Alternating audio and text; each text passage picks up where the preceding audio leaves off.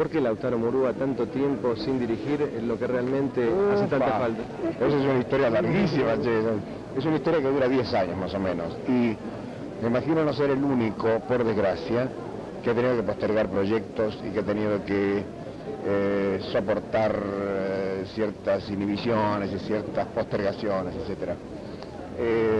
creo que se abre un periodo, digamos, de posibilidades para Argentina, para América en general, que me hace feliz. El hecho de que yo haya podido filmar una película después de 10 años de no haber podido filmar realmente me reconforta.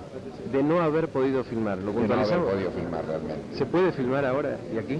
Bueno, yo he podido filmar esta película con grandes dificultades, con apoyo de grandes amigos, con la confianza y la solidaridad de, de gente correcta, valiente, seria como hay en este país. Y ese- estupendos.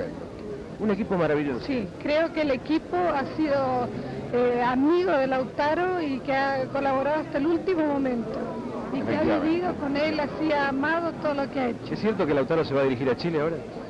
Bueno, es posible que haga algo en Chile, no sé, no solamente algo, decir, que dedique mis eh, próximos años a, eh, bueno, a depositar en Chile todo lo que he aprendido, pero eso no significa un desprendimiento de Argentina. Yo quisiera de alguna manera servir de lazo de unión, en la medida modestísima que podía hacerlo, entre Chile y Argentina en materia de cine. Lautaro, la última, el espíritu de la obra de Eichelbaum. eh, ¿Se cuidó de, de todas maneras preservarlo de todo lo que podía ser una versión en colores?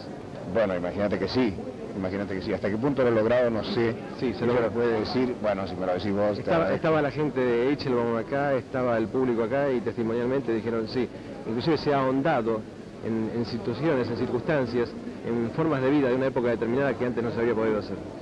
Bueno, eso es gracias a Eichelbaum, que es un hombre que decía mucho más de lo que escribía. Es decir, hay entre líneas, hay intenciones, hay una condición espiritual y humana en la pieza que nos permite buscar caminos totalmente nuevos o un poco más profundos que en lo anterior.